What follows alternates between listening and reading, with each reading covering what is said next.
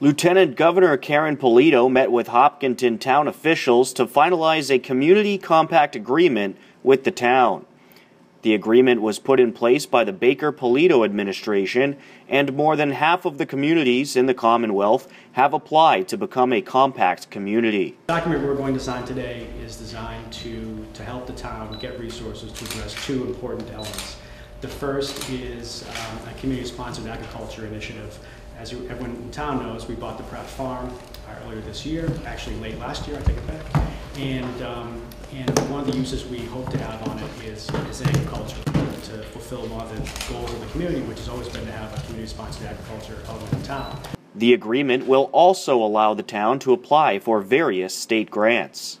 That uh, the communities that are participating in the compact which Hopkinton is now one of them, can now compete for an information and technology grants.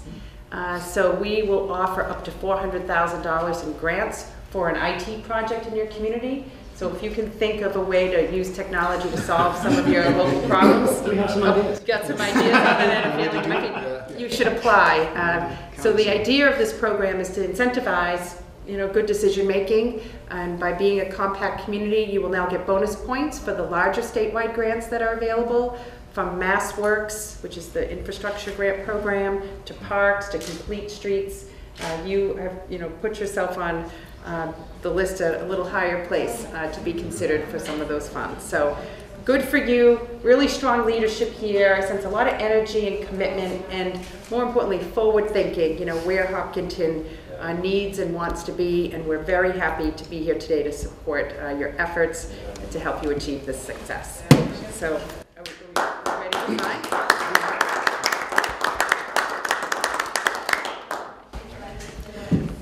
I said this in the last one, January 26th is an anniversary date here in our Commonwealth because it was one year ago that Snowmageddon began. we had over 26 inches, 30 inches in some places in our Commonwealth a year ago today, and I'm really happy that uh, today is a nice, bright, clear day for all of us.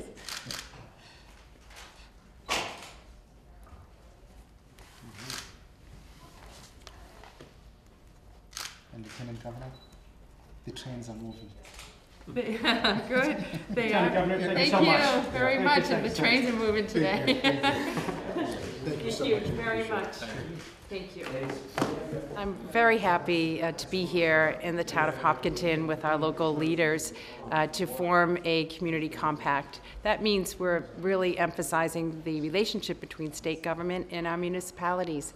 And today, Hopkinton has come forward to sign the compact and to focus on uh, both an agricultural initiative on Pratt Farm, as well as understanding the future economy here in Hopkinton and how they can really partner with private business to strengthen the jobs and the economy here. So two great best practices that Hopkinton has chosen and the state is as a partner funding and helping them achieve over the next two years. All right. Now that it's signed, what will be the next step? Well, the next step is for our uh, state officials to work directly, and I think they've already started, uh, to work directly with the town officials here to make sure that we have provided the funding and the course of action and put the team in place so that these best practices are achieved. And they have up to two years to complete the best practice. So they'll have a commitment in terms of resources, funding, as well as the technical expertise of our administration to help the town of Hopkinton uh, put these practices into place.